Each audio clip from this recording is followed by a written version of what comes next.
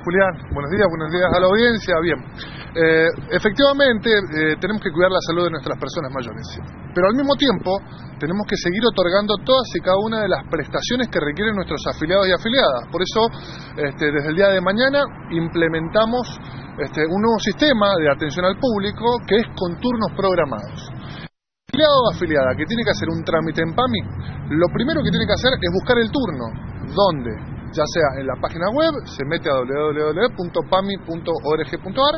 este, en nuestra aplicación, se baja la aplicación de PAMI en el teléfono y allí también puede darnos el turno, este, y si no, llamando a PAMI Escucha, llamando al 138, allí le van a dar el turno. Entonces, el afiliado... estoy pensando como en, mi abuelo o en tanto abuelo que digo que se confunde con esta tecnología y va a necesitar un hijo, un nieto que les dé una mano, salvo el, 30, el 138 que es fácil, pero a veces no te atiende tan rápido, entonces sí le vamos a pedir a los familiares que le den una mano para sacar el turno. Bueno, Julián, es fundamental. Eh, todos los días apelamos este, al amor, al cariño y a la solidaridad de, nuestro hermoso pueblo de Mendoza y les pedimos una vez más que por favor le den una mano a los afiliados de PAN, a nuestras personas mayores que como ustedes saben son este, la población de mayor riesgo y que más tenemos que cuidar. ¿no?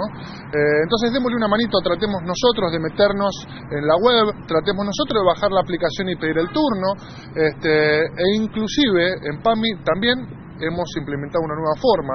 Ya no tiene que acercarse el afiliado o la afiliada a las agencias o allí en calle Belgrano, eh, puede hacerlo un familiar, una persona a cargo con el DNI, eh, el DNI del afiliado y el carnet este, de PAMI, la credencial de PAMI y perfectamente puede hacer cualquier trámite que necesite. Está buena esa, porque muchas veces nos piden ayuda y puedo venir yo como hijo o como nieto traigo, en el caso de ser mi viejo, por ejemplo, su documento, su carnet de afiliado del PAMI yo le hago el trámite. Exactamente, pero no solamente en los trámites de PAMI, también podés ayudar a tu viejo este, buscando el medicamento en la farmacia. Con la implementación del sistema de receta electrónica, directamente el médico de cabecera o especialista envía la receta eh, por medios electrónicos a todas las farmacias de Mendoza que reciben PAMI y entonces un pariente, una persona a cargo, vos, Julián, este, vas a la farmacia con tu DNI, el DNI del afiliado este, y el carnet y la credencial y recibís los medicamentos. Eh, que nuestras personas mayores queden en casa, cuidémoslas. Se está pensando tanto a nivel nacional como local de que la, la, salida de la cuarentena y cuando todos empecemos a movernos más, nuestros abuelos van a ser los últimos, ah, porque evidentemente el virus, vos lo sabés, bueno, todos lo sabemos, ataca principalmente a la gente grande.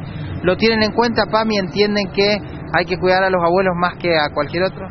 No te quepa la menor duda. Eh, es la población de más riesgo, es la que tiene mayor tasa este, de, de, letalidad, es la que, bueno, eh, más perjudica eh, este virus, así que tenemos que cuidarlos más que nunca, entonces hacemos todo lo necesario este, para, para, que nuestras personas mayores se queden en casa, para respetar este, el distanciamiento físico.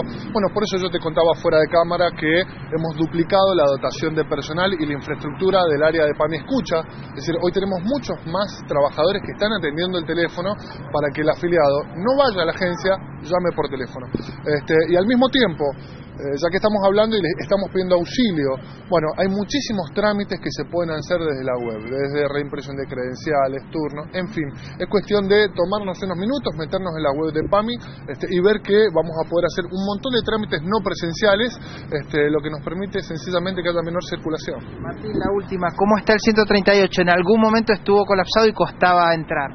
Bueno, eh, también... Eh, son hermosas noticias para nuestros trabajadores este, y para los afiliados de PAMI. Eh, al inicio de la gestión, eh, con las auditorías que teníamos de, nivel central, nos daban números en rojo este, de lo que tardábamos en atender al público y hoy, como verás, este, tenemos banderas verdes porque recientemente nos han premiado desde Buenos Aires por este, por la calidad de la atención este, y la calidad de las respuestas que estamos dando desde este servicio.